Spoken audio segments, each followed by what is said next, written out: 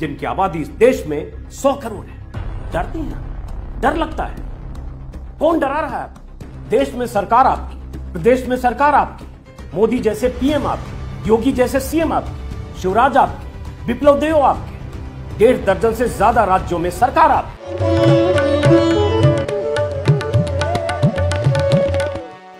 नमस्कार दोस्तों, Punjab today TV पर आपका स्वागत है। जहाँ आपको गोदी मीडिया का अनफिल्टर्ड सच दिखाया जाता है। तो जल्दी से सब्सक्राइब बटन दबाएँ और बेल आइकन की घंटी बजा दें। पहले हम वीडियो देखेंगे वरिष्ठ पत्रकार अजीत अंजुम की। इस क्लिप में देखें अजीत जी ने उन सभी के मुँह पर कस के तमाचा लगाया है, जो ये कहते हैं कि भारत में हिंदू खतरे में है और जिनके मन में ये डर बिठा दिया गया है हमारी सरकार के द्वारा कि मुसलमान भारत के लिए खतरा है। और मैं आपको मतलब हिंदू समाज के उन लोगों को एड्रेस कर रहा हूँ, जिनकी आबादी इस देश में सौ करोड़ है। डरती हैं। डर लगता है। कौन डरा रहा है? देश में सरकार आपकी प्रदेश में सरकार आपकी। मोदी जैसे पीएम आपके, योगी जैसे सीएम आपके, शिवराज आपके विप्लव देव आपके, डेढ़ दर्जन से ज़्यादा राज्यों में सरकार आपकी, सारे मुख्यमंत्री आपके, राष्ट्रपति आपके, देश के हर राज्य में राज्यपाल आपके ज़िले ज़िले में एसपी आपके डीएम आपके, देश के ऊँचे ओहदों पर बैठे लोग आपके। फिर भी आपको डर, फिर भी आपको लगता है हिंदू खतरे। में मोदी मीडिया आपका, गोदी मीडिया आपका। मोदी और शाह की सत्ता में बैठे, सारे चेहरे आपके, संतरी आपके, मंत्री आपके, नौकरशाही में सारे मोहरे आपके। वो स्वामी और चौधरी जैसे एंकर रिपोर्टर और संपादक आपके। फिर भी आपको डर लगता फिर भी आपको लगता है हिंदू खतरे में है। सवा सौ करोड़ की आबादी वाले मुल्क में सौ करोड़ आबादी आपकी फिर भी आपको डर लगता है। डर आपके भीतर कौन पैबस्त है? कौन लोग हैं जो आपके भीतर डर पैदा करके, आपके भीतर डर की बुनियाद पर अपनी सत्ता की इमारत खड़ी करना चाहते या उस खड़ी इमारत सालों साल मज़बूत करना चाहते इसको समझना शहरों और कस्बों, गलियों मुसलमानों के खिलाफ जहर उगलते भगवाधारी आप छोटे बड़े शहरों, हिंदुत्व के नाम पर, हिंदू के नाम पर, खतरे में हिंदू के होने की बात कहकर हिंदू पंचायत करने वाले संत और महंत आप मुसलमानों के खिलाफ जहर उगलने वाले मंडलेश्वर, महामंडलेश्वर और मंदिर के मठाधीश आपके दिल्ली से लेकर हरिद्वार और प्रयाग से लेकर देश के अलग अलग शहरों हिंदू पंचायत बुलाकर धर्म संसद बुलाकर मुसलमानों को काटने, मारने, पीटने, सबक सिखाने की बात करने वाले, ललकारने वाले।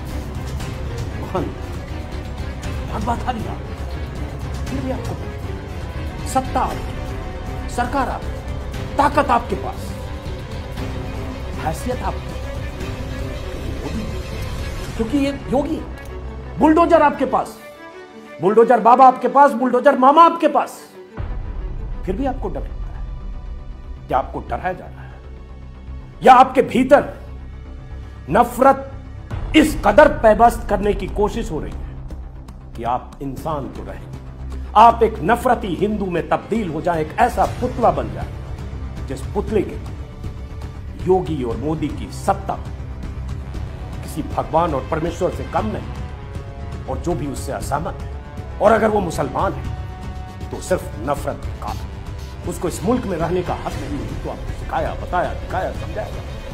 इसलिए आप किसी को पाकिस्तान, किसी को देश का दुश्मन, किसी को देशद्रोही, किसी को कुछ कर। मोदी, योगी और शिवराज की सरकार में डरना तो उन्हें चाहिए, जो मुसलमान डरना तो उन्हें चाहिए, जिनका नाम सलमान है, सुलेमान है, सलीम है, आमिर है, शाहरुख है, शाहनवाज है। दोस्तों, पिछले दिनों गोदी मीडिया वही हरकतें करता आ रहा है, जिसकी वजह से इनको हम गोदी चाटुकार कहते हैं। इस क्लिप में हम देखेंगे कि असली पत्रकारिता में और इन गोदी चाटुकारों की खबरों में ज़मीन आसमान का अंतर है। आइए देखें रवीश कुमार की पत्रकारिता और इन गोदी चाटुकारों की खबरें।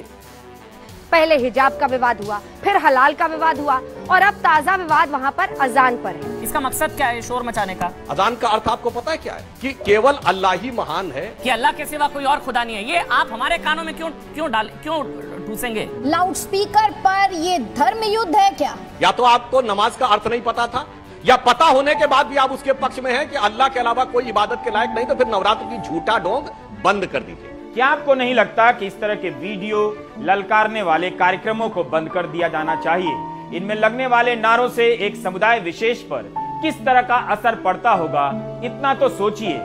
देखिए चित्रा जी ये जनता बहुत बुद्धिमान है सब समझती है। मगर मुझे दुख किस बात का लगता है पता है चित्रा जी?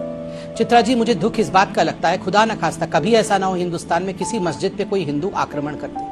अगर गलती से भी ऐसा कभी हो गया होता तो ये सारे अभय दुबे से लेके वारिस पठान ये ये पूरे विश्व में हाहाकार मचा देते। तीन दिन पहले गाजीपुर में बहुत से गैर मुसलमानों ने एक मस्जिद पे अटैक किया, उसमें घुस गए, मस्जिद में पेशाब किए खड़े होकर, इमाम साहब को मारा, मस्जिद में सामान तोड़ा फोड़ा। ये आपके हिसाब से क्या ये प्यार मोहब्बत है? क्या है ये? एक आदमी ने मंदिर में हमला किया, बिल्कुल होना कार्रवाई। टेररिस्ट है। और जो पचास लोगों ने मस्जिद पे हमला किया तो मेरे साथ बोलिए कि जिन लोगों ने मस्जिद पे हमला किया, वो भी विक्षिप्त है, आतंकवादी है, उन पर भी कार्रवाई हो। हिंदू कभी आतंकवादी नहीं होता है। इस बात को कान खोल के सुन लिया जाए। क्योंकि यूपी के एक महंत हैं, जिनका नाम बजरंग मुनि है। उन्होंने एक समुदाय की बेटियों का बलात्कार करने की बात कही। बाकायदा जीप के ऊपर लाउडस्पीकर लगाकर मस्जिद के सामने गाड़ी रोककर यह बात कही है। राम के नारे से मर्यादा पुरुषोत्तम की मर्यादाओं की धज्जियाँ उड़ाई जा रही हैं। नवरात्रि के दिनों में जब घरों में कन्या पूजन की तैयारियाँ हो रही हैं, उस समय यह महंत एक मस्जिद के सामने आकर बहु बेटियों के बलात्कार की बात कर रहा है। आखिर महंत को यह हौसला कहाँ से आया? महंत की राजनीतिक ठाठ भी कम नहीं दिखती है। सीतापुर सदर विधायक और यूपी सरकार में मंत्री राकेश राठौर नफरती भाषण देने वाले बजरंग मुनि को कंधा देते फिर भी ये कहते हैं कि हम खतरे में हैं। मुसलमान इस देश में खतरे में। पूरा हर जगह आर्टिकल लिख लिख के, ओ, मुस्लिम एंडेंजर्ड मुस्लिम मर गए, मुस्लिमों को मार दिया। हर जगह शुरू हो गया। हर दिन एक धर्म विशेष के खिलाफ तरह तरह के ऐसे वीडियो आ रहे हैं। हम कितना दिखाएँ और आप भी कितना देखेंगे। कहीं झंडा लेकर किसी मस्जिद के बाहर हर दिन तमाशा हो रहा है, उकसाने की कोशिशें हो रही कहीं शपथ दिलाई जा रही है कि एक धर्म विशेष की दुकानों से सामान नहीं खरीदना हमारे माननीय प्रधानमंत्री जो खुद भगवान स्वरूप है जिन्होंने सनातन धर्म को विश्व में ऊंचाइयों के स्तर पे पहुँचाया है। वैसे आज विश्व स्वास्थ्य दिवस है। मध्य प्रदेश के अस्पतालों में पीने का पानी नहीं है। जिला अस्पताल हो या ग्रामीण स्वास्थ्य केंद्र कई अस्पतालों के अंदर या तो टोटी ही नहीं है जहाँ टंकी बनी है वो सूखी और बंद पड़ी है। लोग पानी की आस में टंकियों के पास जाते हैं पानी न मिलने पर मायूस होकर लौटते हैं। दूर दराज से अस्पताल में मुफ़्त इलाज कराने आए मरीज़ के उन परिजनों को पैसे देकर पानी खरीदना पड़ रहा है। बड़े अस्पतालों में कमी की बात सरकार मानती नहीं तो हमने तस्वीर दिखा दी। छोटे अस्पताल यानी प्राथमिक स्वास्थ्य केंद्र, सामुदायिक स्वास्थ्य केंद्र में तो खुद स्वास्थ्य विभाग की एक रिपोर्ट बताती है कि 2228 अस्पताल जल संकट से जूझ रहे हैं। लगभग 17 साल से मध्य प्रदेश में एक ही दल की सरकार, लगभग एक ही मुख्यमंत्री गद्दी पर। 2024 तक राम मंदिर बन जाएगा, हम इठलाएँगे। लेकिन क्या वाकई राम राज्य ऐसा होगा जहाँ हम बीमारों तक को पानी न पिला सकें?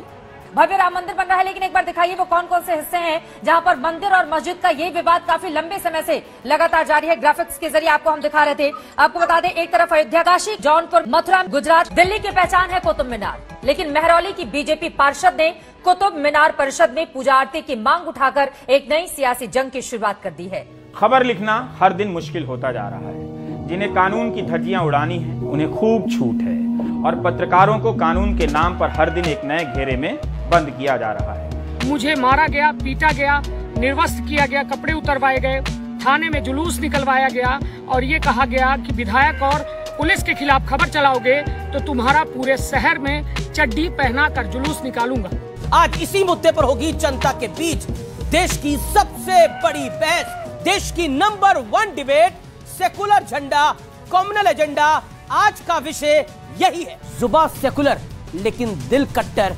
ज़ुबान से तो सेकुलरिज्म निकलता है, लेकिन दल, दिल इनका इतना कट्टर है, सेकुलर झंडा और कम्युनल एजेंडा यकीन मानिए, ये नाम देते हुए हमें कई बार सोचना पड़ा। देखिए, अमीश भाई कभी कभी शर्म आता है। शर्म इस बात पे आती है कि हमें डिबेट किन विषयों पे करना पड़ता है? हलाल, मीट अजान हम उस डिबेट पे टॉपिक कर रहे हैं। अजान हिजाब हलाल झटका लटका फटका ये मुद्दा नहीं है। मैं आपकी बात से सहमत हूँ इस पर डिबेट नहीं होना चाहिए था।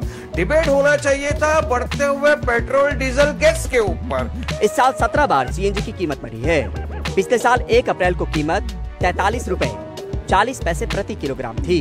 अब दिल्ली में यह बढ़कर उनहत्तर रूपए ग्यारह पैसे जा पहुँची है। सीएनजी हमारी किस्त हमारी पेट्रोल हमारा टायर हमारे गाड़ी हमारी ड्राइवर हमारा और किराया छह रुपए किलोमीटर। एसी में कॉस्ट पड़ती है साढ़े नौ रुपए किलोमीटर की। प्रति किलोमीटर पे साढ़े तीन रुपए किलोमीटर का घाटा हो रहा है हमें। सुबह से रात तक प्रधानमंत्री को न जाने कैसी कैसी भाषा में गाली देते हैं। बीते पंद्रह दिनों के अंदर कीमतों की अगर बात करें तो नींबू पंद्रह दिन पहले पचास से सौ रुपए किलो था अब 200 से 300 रुपए किलो है। करेला 20 से 30 रुपए किलो थी अब 50 से 60 रुपए में है। और फली 15 दिन पहले 25 से 30 रुपए में थी, अब 60 से पैंसठ रुपए किलो है। इसलिए संभाल कर खर्चे कीजिएगा, दवाओं के भी दाम बढ़ने लगे हैं। अपनी सेहत का ख्याल रखें, लेकिन यह भी ध्यान रखें कि आपके शहर की हवा शुद्ध है या नहीं। दिमाग से लेकर नाक तक में जहर ही जहर भरा जा रहा है। क्या बिना शांति के स्वास्थ्य बेहतर हो सकता है? पॉजिटिव बात यह है कि आप समझ नहीं रहे हैं, वरना समझने पर बहुत तकलीफ़ होगी।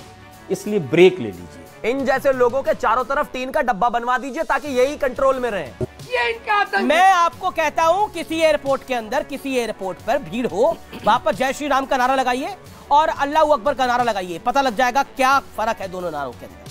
फ़िलहाल इतना ही। नमस्कार जय हिंद जय Bharat. If you like our channel, please subscribe and to get notifications about news, please click the bell icon.